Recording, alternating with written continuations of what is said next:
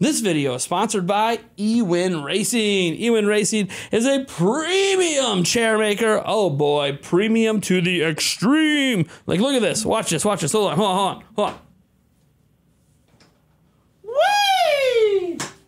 Woo!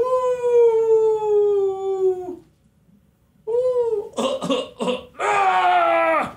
Seriously. Seriously, eWin Racing, everyone. Check out their chairs. They're awesome. They're comfortable. You can get 20% off with code Nintendo Prime down in the description. I don't know what's going on at Nintendo, but they can't seem to stay out of the negative headlines out there. As much praise as Nintendo deserves for certain aspects of their company, some of their games are utterly amazing. I think the Nintendo Switch itself is a pretty great product, has some flaws, but in general, it was the correct product during the right time and place in history. Clearly, with the sales of the system, most uh, consumers seem to agree. Despite you know you have you have your critics that come out of the woodwork and they can feel how they want to feel. But for Nintendo, it was obviously a massive success, just like the Wii was, just like the DS, even the Nintendo Entertainment System back in the day, and so many others, the Game Boy, that have done extremely well in this industry for Nintendo. So they deserve some praise for that stuff. Apparently, the partner with Universal seems to be going pretty well, right? We have the Mario movie coming out that people seem to be mostly enjoying all the previews for that. And yeah, the Nintendo theme parks, the Nintendo World at Universal Park seems to be well received as well. So there are some things Nintendo does that are uh, perceived well. I mean, even Nintendo fixing Joy-Con drift. I know there's a whole lot of debate about them admitting the Joy-Con drift, not admitting. They're fixing Joy-Cons outside of warranty that are having drift problems, at least here in the United States. So that I mean, there there are some things there. There's some okay things. But for everything we could say positive about Nintendo, there's always the opposite. Uh, how they treat ROM sites. You know, I understand when the ROM sites are making a profit, but ROM sites in general, uh, how they go, went after Steam uh, for having images of their games. Uh, it was a little strange because they were talking about profile pictures, like using Nintendo characters in profile pictures on Steam. Nintendo went after that not too long ago. That was really strange. Uh, Nintendo has shut down a number of fan games where other companies let fan games go. Nintendo is well within their legal right to shut down those fan games. And in some cases, it might make sense, like when they shut down. Um, a Metroid 2 remake, well, Nintendo already had their own in the works. So something like that makes sense. But there's other things they've shut down along the way that didn't make sense. So, look, Nintendo does some really strange things uh, that other companies just don't participate in. I remember as a content creator, for years we couldn't even use gameplay clips or trailers in our videos, or Nintendo would copyright claim and copyright strike your video because Nintendo just didn't want you using their content. And then they released a whitelist you could use if you joined their partner program, which involved Nintendo taking some of your revenue, and then you couldn't even use like gameplay clips from the most popular, like Smash Bros. You couldn't even use gameplay clips from their most popular games. So it was really, really weird how Nintendo has handled some of this stuff over the years. Very out of touch, I think, is the way to put it. And it kind of feels like they're back in that out of touchness again lately. They obviously shut down Smash World Tour. I'm not going to get into all the details about that. There's actually been a hell of a lot more information that's come out about the Smash World Tour situation since my uh, video I made on it. And frankly, I'm extremely out of depth on it, but it sounds like Nintendo is mostly at fault for the shutdown of Smash World Tour. Yeah, Panda and their CEO or former CEO deserve some some heat, but in general, Nintendo uh, is not uh, you know infallible here. They they definitely seem to be primarily at fault uh, for Smash World Tour getting shut down. Maybe not the championships this year. I don't know. Nintendo's refuting that they ever said that. I, look, there's too much information out there on it, right? I'm I'm on the outside looking in at all of this. I don't pay attention to the Smash Bros. community, so, but that is the thing Nintendo injected themselves into. Beyond that, Nintendo today, or really not today, but last week, uh, did another thing that just doesn't really make sense for a number of reasons. And they went after Did You Know Gaming. And they copyright striked a video that we covered. In fact, we covered extensively. We, we released details about that video Uh, before the video came out because I was in contact with the people making the video. I saw all the documents, okay, before the public did. I had access to all of their research before the public did, before that video came out, just because a lot of the people that work on Zelda content at Did You Know Gaming have a deep level of respect for the work I used to do as a Zelda theorist and in promoting Did You Know Gaming's Zelda content back in the day at my former employer at Zelda Informer. So there's a mutual respect there, so I get access to things sometimes. And it was really cool. This video was about Heroes of Hyrule, a Zelda game pitched to Nintendo from Retro Studios back in 2004 that never really was in development in the first place. They just had a, a very detailed document with all the pitches and all the story ideas and everything. And uh, all that came from former Retro Studios employees and everything. And Nintendo decided to copyright strike that video down and has not released it as of today. And know gaming can post videos again? It's a, it, it, prevents you from posting content for about a week.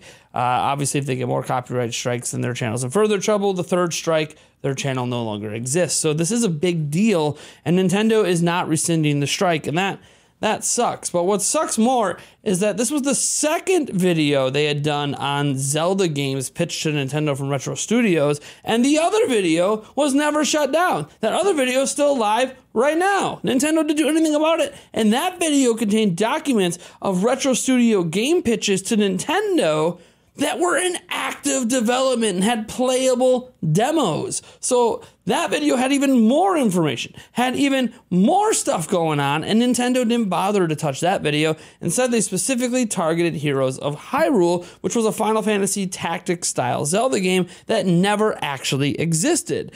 Very strange, right? I, I, I don't understand why this is the one they went after. They let the other one go. All the people that talk about Ura Zelda and beta stuff, they let go. They've let go almost all coverage of things that never happened but were talked about behind the scenes with Zelda Go over the years. I've been covering Zelda for decades at this point, and Nintendo has only ever really shut down Zelda fan games. They've let go of people talking about things that never happened but were once an idea. I have talked myself about many, many canceled Zelda games over the years and have never once had Nintendo give a shit. And here's Did You Know Gaming, by the way, several weeks, months after this video goes up, getting hit by Nintendo's lawyers. I don't understand it. I don't get it. But here is the post they put up on Twitter about this. Um, it says Nintendo has removed our Heroes of Hyrule video from YouTube. This was a journalistic video documenting a game that Retro Studios pitched to Nintendo nearly 20 years ago. This is an attempt by a large corporation to silence whatever journalism they don't like and slap in the face for video game history preservation. We're exploring all available options to restore the video. The video is not restored yet. Um, this is just, it's baffling to me that Nintendo did this again and did this in this way about this video, about this specific thing, when they've let so much of the. It's one thing if they were consistently shutting down all conversations about pitched and canceled Zelda games, right? It's one thing if they were shutting all of that down, but they're not. They're not. There's no consistency in how they're applying the supposed rule they have internally that you cannot discuss things that don't actually exist because Heroes of Hyrule doesn't actually exist. It was just a document put together by employees that no longer even work at Retro Studios and pitched as a concept to Nintendo that Nintendo shut down. It was never even a game, it wasn't playable, it wasn't a tangible thing. It was just an idea. And Nintendo's copyright striking over it. Look, for all of the love I can give Nintendo, I am not somebody to just sit back and defense force bad actions. Because frankly, when I have enough information and have enough experience to know that this is just fundamentally, absolutely 100% wrong. And when it comes to covering Zelda game stuff, I definitely feel like I have a, a, little, a little bit of experience. I can tell you right now, this is just wrong. This is just wrong. I don't know if Did You Know Gaming has the legal means, the funding, the backing to be able to even fight this sort of strike because it's probably going to be something that Nintendo would take to court. I just don't see them letting this strike go. It was manually applied by Nintendo of America. So, man, I, well, what I don't understand about Nintendo and not just as a content creator, but just as a fan, is nothing about this video made Nintendo look bad. Nobody saw this pitch for a game and got angry at Nintendo for not approving it. That's not really what happened, right? It was just one of those one off, really interesting ideas that was pitched to Nintendo. They didn't think it really fit with the series. And then that was really the end of that. Like, they're really it's not that big of a deal. No one's really upset at Nintendo for shutting it down. Some people would have liked to see what this could have became. Maybe it could have became an original IP, but that's just not what happened at Retro Studios. Obviously, they went on and ended up making Metroid Prime and stuff like that. So there's all these thoughts that Retro Studios could have made a Zelda game all these years. They had several Zelda game pitches. For some reason, this is the one that's getting shut down. I are they making it? Are they making a Final Fantasy Tactics Zelda game that we're not aware of for mobile devices or something? I, uh, I don't know, guys. Nintendo really frustrates me at times. As much as they make me smile with their games, and Tears of the Kingdom is probably going to be, I don't know, one of my favorite games ever, based off Breath of the Wild, anyways. I still don't fathom the way Nintendo operates in certain given situations, and this is one of them. Um, why Nintendo does this, why their legal team does this. Other companies always let this stuff go. Other companies even work directly with Did You Know Gaming. Uh, they've had people like from Valve come on and do interviews with them on games like Portal and stuff. So other companies view value Did You Know Gaming because Did You Know Gaming is sort of a gaming historian channel at this point. They provide gaming history videos, right? It started out as some interesting, cool facts they would drop, you know, in a meme style many, many years ago. And then once they hit the YouTube scene, they started actually focusing on creating historically accurate video game content to preserve information about the past. In this case, preserving information about Heroes of Hyrule. And the funny thing is, they didn't go and strike all the other channels that covered Know Gaming's video that also showed the documents, including us. So Mm. I'm sorry for Know Gaming.